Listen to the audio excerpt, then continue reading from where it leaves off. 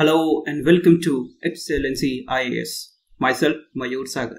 This is the Indian Polity by M. Lakshmikant series. We are committed to complete this entire book that in the 75 hours of the classroom. So, in the last two class that we have seen that the development from the 1773 till that 1909 that is parliamentary reforms. 1885 that when Indian National Congress come into the existence. इसके बाद the tide of the nationalism, the directions of the Indian national movement, it got changed. Gradually, initial phase, it is dominated by the modern politics, that is driven by triple P, that is prayer, petition and protest. But कुछ mass base अभी तक create करने में this organization was not successful. After that, when 1905 with the partition of Bengal, the dominance come under the extremist extremist जो passive resistance की बात करते थे, लाल, बाल, पाल एंड अरविंद घोष ऐसे लीडर्स आते चले गए। ठीक है? एंड फाइनली दैट 1919 ऑनवर्ड्स को गांधीन फ़ेज़ बोलते थे। हालाँकि गांधी जी इंडिया में 1915 में आए थे आफ्टर रिटर्निंग फ्रॉम अफ्रीका कुछ साल तक इंडियन पॉलिटिक्स को उन्होंने समझा। He device techniques that is called the truth and non violence base that is called satyagraha. ये true spirit, letter and spirit में इस टेक्निक्स को अप्लाई करना चाहते थे। So he gradually with the application of this tool increase the mass base and he started building the pressure over the Indian government gradually reforms आते चले गए। Indian national movement और ब्रिटिश गवर्नमेंट के बीच में काफ़ी आगे का एपिसोड इंटरेस्टिंग है। So let us see that development after 1919 which is called Montford reforms starting in the context of the pretext of the First World War and ending with the independence of India in 1947 with the partition. So, let's begin the today's class.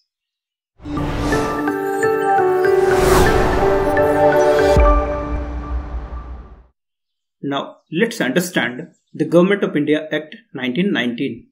From the exam point of view, this is an important uh, the piece of legislation इसको micro analysis के साथ आप तैयार करें okay along with the 1935 act.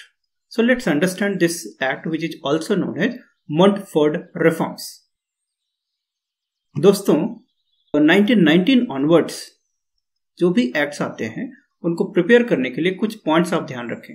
Legislative executive then election fourth communal representations fifth elections के साथ civil service reforms then six point is the judiciary in these areas क्या क्या चेंजेस किए गए?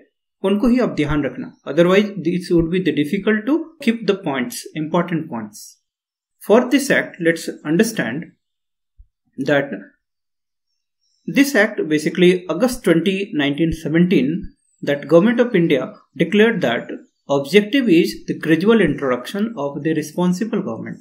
The responsible government in polity में क्या meaning होता है The responsible government का मतलब that the elected members that is called members of the councils they should be accountable to the legislature for their omission and commission मतलब अपने किसी भी एक्शंस के लिए जो मेंबर्स होंगे वो अकाउंटेबल होंगे किसको लेजिस्लेचर को second legislature by cameral model पे बाइकैमरलिज्म इसको इंट्रोड्यूस करना है। तो दो एस्पेक्ट रिस्पॉन्सिबल गवर्नमेंट में आप ध्यान रखेंगे। That the members of the council should be accountable to the legislature second the bicameralism मतलब double house upper house lower house it should be introduced तो देखते हैं how this act actually trying to bring the responsible government so what are the features this act is called Montford Montford में दो नाम है that is called Montagu and Chelmsford Montagu basically the secretary of state थे उस समय and Chelmsford he was the viceroy of India so what are the important features important features are पहला features को भी आप इस तरह से तैयार करें legislative organs legislative organs mean central legislative council और प्रोविंशियल लेजिस्लेटिव काउंसिल ठीक है द वाइसराय वाइसराय काउंसिल के दो ऑर्गन्स एक सेंट्रल लेजिस्लेटिव काउंसिल एंड एक एग्जीक्यूटिव काउंसिल ठीक है? तो first time central legislative council का कंट्रोल प्रोविंशियल लेजिस्लेटिव काउंसिल के ऊपर में रिलैक्स किया गया, ठीक है? किस तरह से? By through introduction of the list system list system मतलब सेंट्रल गवर्नमेंट के लिए there is a list that is called federal list state government के लिए एक another list that is called the provincial list और जो एक्ट और जो गवर्नमेंट होगा, इन्हीं प्रोविज़न इन्हीं लिस्ट सिस्टम के अकॉर्डिंग लॉ इनेक्ट करेंगे। मतलब separate domain of legislation decide किया गया। सेकंड ये लेजिस्लेटिव ऑर्गन्स में। एग्जीक्यूटिव में क्या हुआ? The introduction of dyarchy in the provinces what is this diarchy? Diarchy basically the double system of the governance diarchy, it is, come from the greek word that die arche die means two and arche means rule matlab rule of two so this double system of governance is introduced in the provinces. Let us understand this diarchy. That in provincial legislative council, there is a provincial list and provincial list is separated into two part. दो part एक reserve subjects और एक transferred subjects जो reserve subjects होते थे they are more less important subject होते थे and transferred subject जो रीजनल नेचर्स के like education defence law and order ये सारे ट्रांसपोर्ट सब्जेक्ट्स में रखे जाते थे।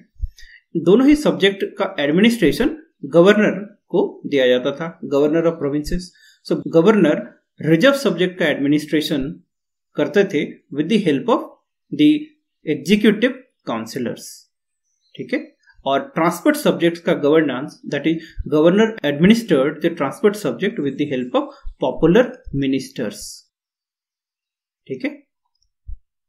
So those popular ministers are accountable to the council for every action so those ministers will be accountable to the legislative council तो provincial subject reserve subject transport subject administrate by the governor with the help of executive councillors reserve subject और transport subject किसके help से? With the help of popular minister जो executive councillors होते थे they are not accountable to the legislative council उनको जवाबदेही नहीं करना, देना पड़ता था। So this system is called the diarchy and it is introduce in province province में डाई आर्की इंट्रोड्यूस किया गया था। Third financial aspect financial aspect में क्या था? नाउ दैट बजट को इनेक्टमेंट का पावर दिया गया था प्रोविंसेस को।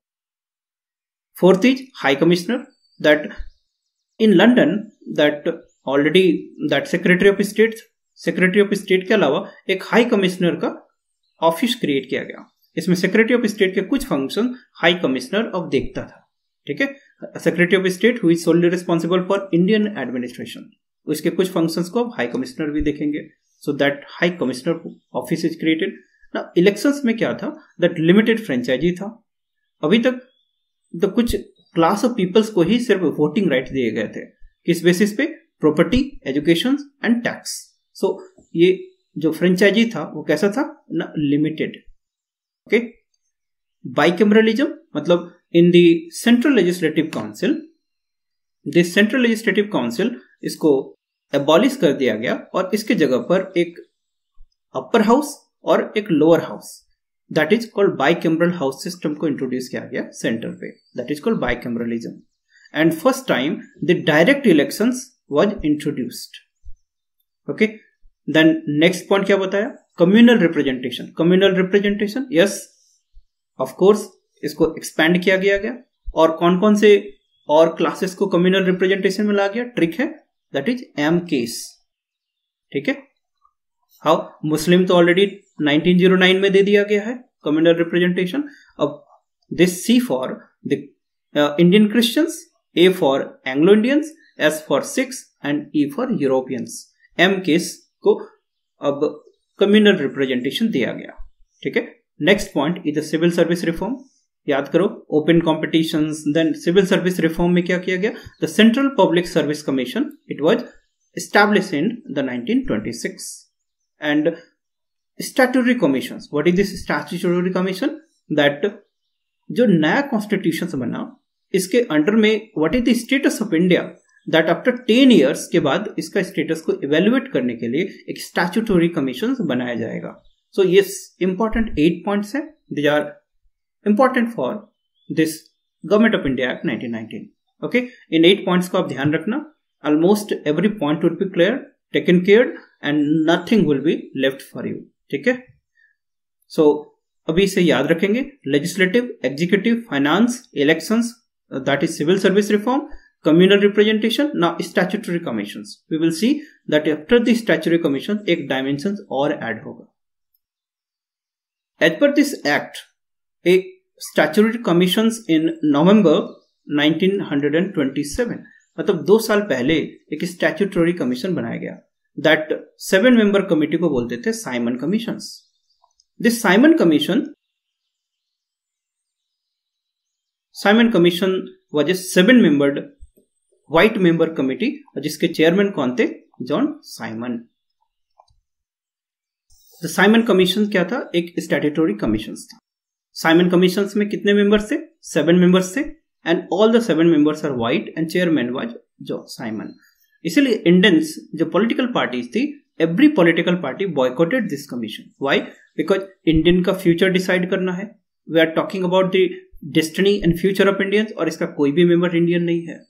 But now understand what is the Simon commission the Simon commission is to give recommendation with respect to the status of India after this Montford reforms Simon commission ने कुछ important recommendation किए थे। What are the recommendation that first the dyarchy system जो था that it should be abolished from the provinces second separate electorate that is the communal representation it should be further expanded third एक all India federation की बात करा था उन्होंने, कि there should be an all India federation consisting of the British India and the princely state और Indian princes और Indian princely state so all India federation की बात किया उन्होंने. So these are the four five important recommendation given by Simon commission in recommendation को discuss करने के लिए the British government convened a conference that is called round table conference तीन round table conference हुए थे 1930 31 में थ्री राउंड टेबल कॉन्फ्रेंस हुए थे.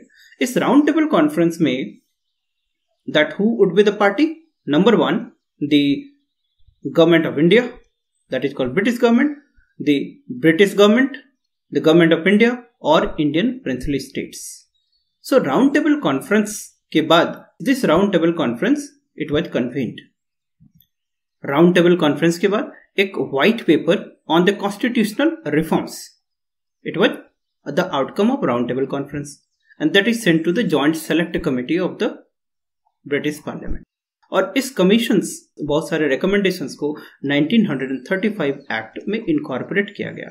We will see the next so this is about the Simon commission इसी समय एक और development that is called communal award What is this communal award? The communal award that is August 1932 जो British prime minister that is called Ramsay MacDonald उन्होंने announce किया कि जो ये कम्युनल रिप्रेजेंटेशन का स्कीम है that should be extended to the minorities इसका मतलब अब इस पे डिप्रेस्ड क्लासेस जिसको शेड्यूल्ड कास्ट उसमें डिप्रेस्ड क्लासेस को भी सेपरेट इलेक्टोरेट प्रोवाइड किया जाएगा।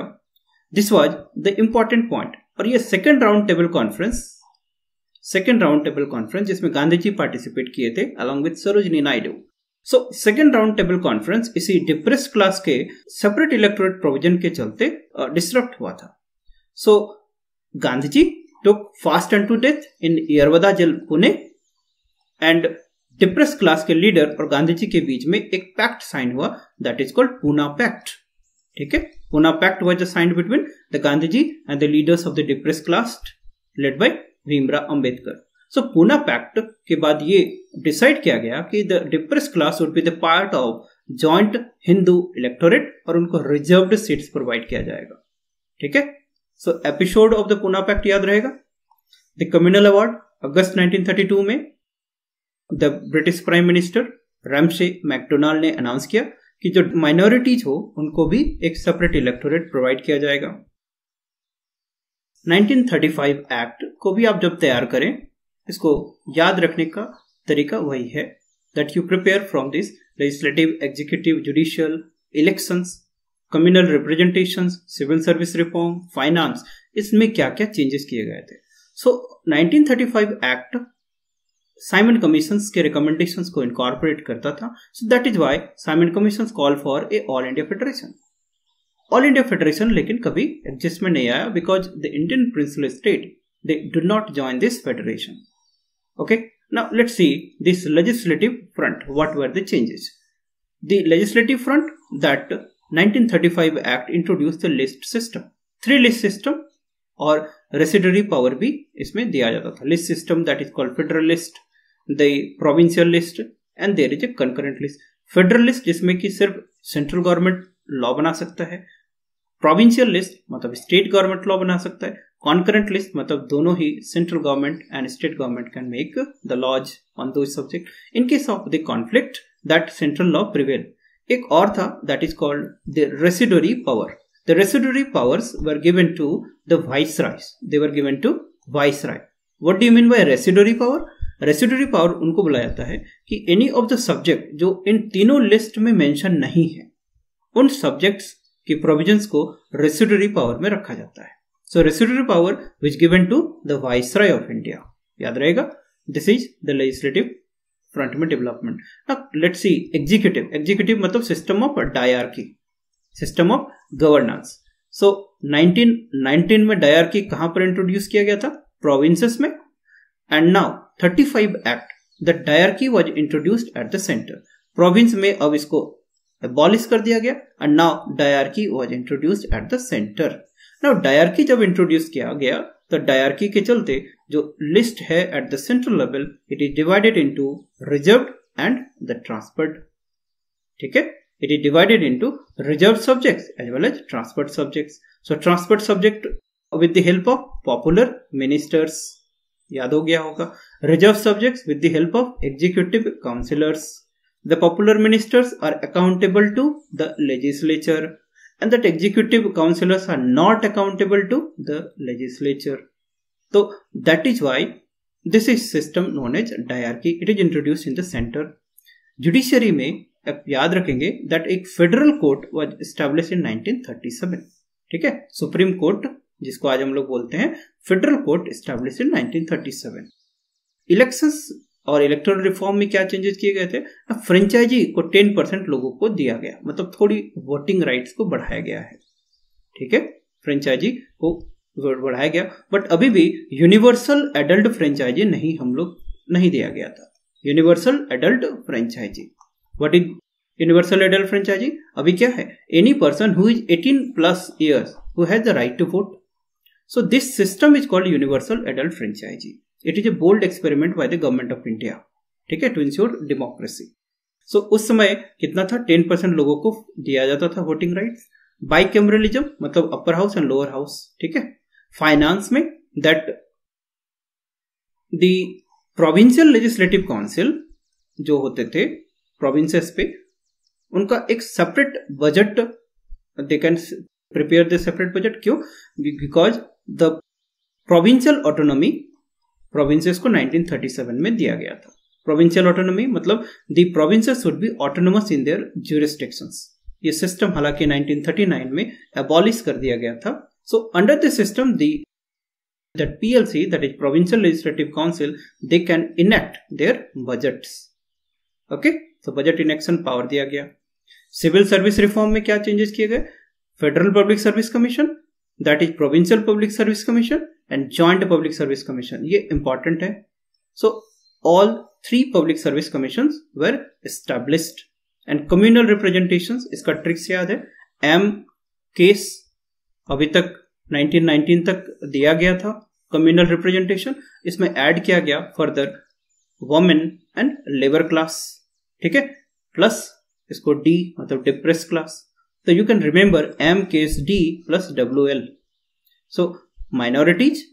This is your Christians, that is called Anglo Indians, Sikh, Europeans, depressed class, women and labor class. इनको कम्युनल रिप्रेजेंटेशन दिया गया and Reserve Bank of India for the management of the currency it was established so these are the eight points about this the government of india act 1935 you can read from your the lakshmikant textbook the article that it is here जब भी आप lecture सुनो after that you try to read you the text book hopefully everything would be cleared कैसे आप तैयार करोगे इसी तरह से? लेजिस्लेटिव ऑर्गन्स में क्या किया गया? लिस्ट सिस्टम एग्जीक्यूटिव में प्रोविंशियल ऑटोनॉमी कहाँ पर इंट्रोड्यूस किया? प्रोविंसेस में. डायरकी कहाँ पर इंट्रोड्यूस किया गया? सेंटर पे. Federal court that is judiciary में it established elections ten percent लोगों को फ्रेंचाइजी दिया गया. देन फाइनेंस फाइनेंस का मतलब प्रोविंसेस जो कि प्रोविंशियल ऑटोनॉमी है उनको बजट इनेक्शन का पावर दिया गया। देन सिविल सर्विस में क्या किया गया? दैट इज़ कॉल्ड यूपीएससी जो आज का है that is federal public service commission state public service commission मतलब PPSC provincial then joint public service commission that is इसको स्टैब्लिश किया गया। और कम्युनल रिप्रेजेंटेशन इसमें डिप्रेस्ड वुमेन लेबर क्लास को भी ऐड किया गया। सो so, इसको याद आप रखते चले जाएँगे। एडिशनली आरबीआई वॉज़ स्टेब्लिश्ड ठीक है?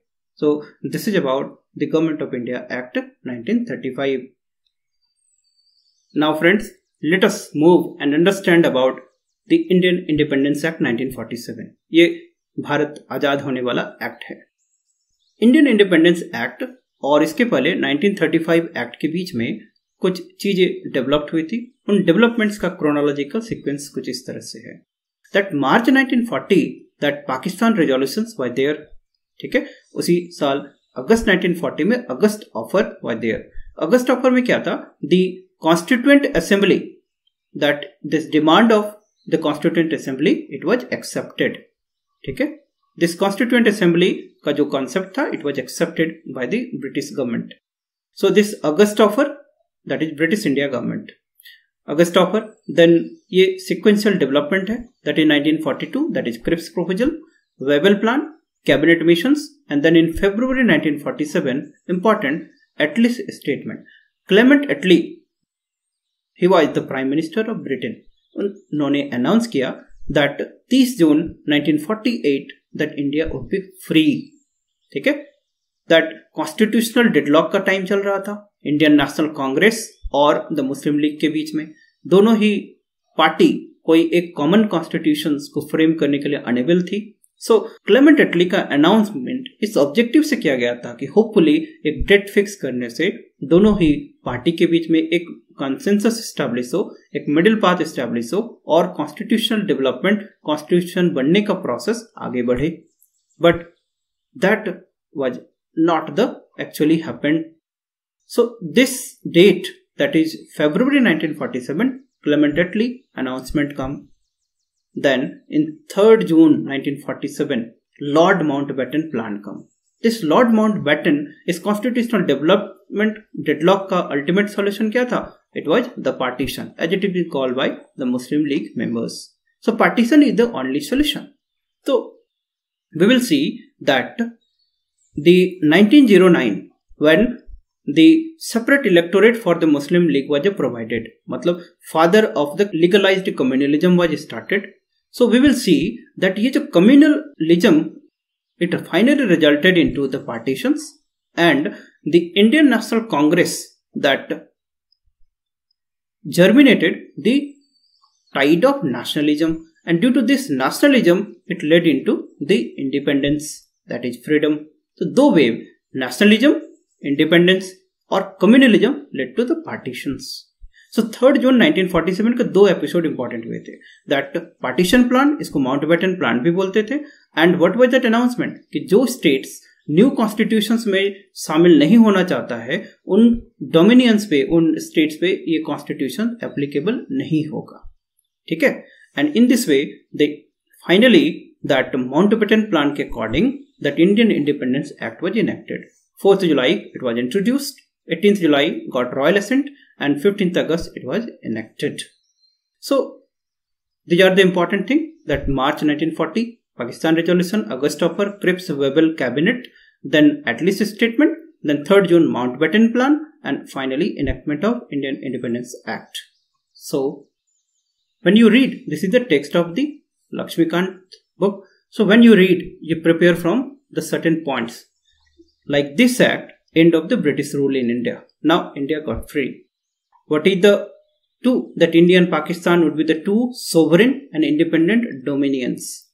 Okay.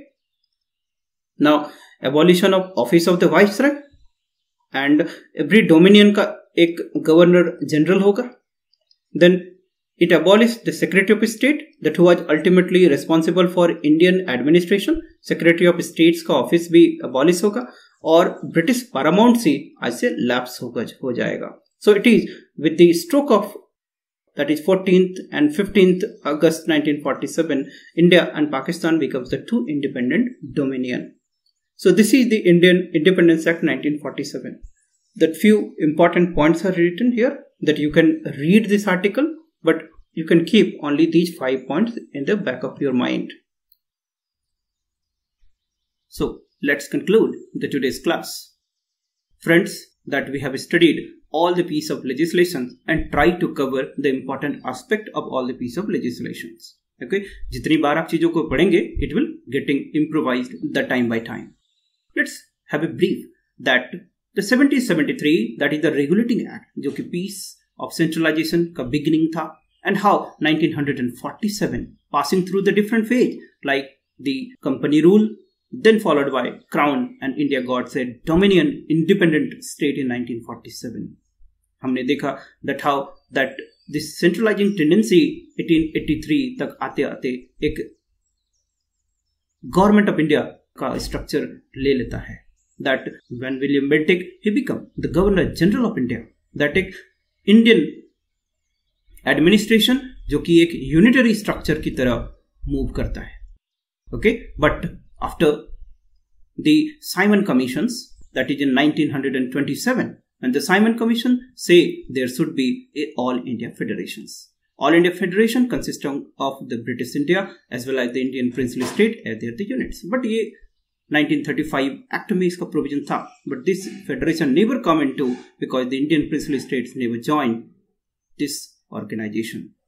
But after that, Indian national movement एक mass phase में enter करता है. And through the different phases, it ultimately that is on 14th and 15th August that India got independence. ठीक है so the important points किस तरह से इस चीज़ों को ध्यान रखेंगे from exam point of view this is an important chapter because the question can directly ask उन पॉइंट्स के. When let's say the executive organs में इंडियन का रिप्रेजेंटेशन होता है. They can directly ask about the various features of the different piece of legislation. चार options में से identify करना होगा okay let's say when we say ordinance system ordinance making power when it was introduced तो इस तरह के questions को आप ध्यान रखेंगे। स्पेशली दैट 1919 1935 एंड दिस 1909 इन तीनों एक्ट्स को आप बहुत माइक्रोस्कोपिक व्यू से तैयार करेंगे। मतलब almost That every possible things what we have dictated along with कुछ और एक दो पॉइंट्स आपको मिलते हैं you keep it because these are the important area from the exam point of view so rest that we will take care so Tomorrow we will meet with the next chapter that is making of the Indian Constitution. So thanks for the watching. So stay safe, stay healthy and we will update you with the next chapter. Be tuned with the videos, be tuned and keep visiting our the channels. So take care, bye, have a good day.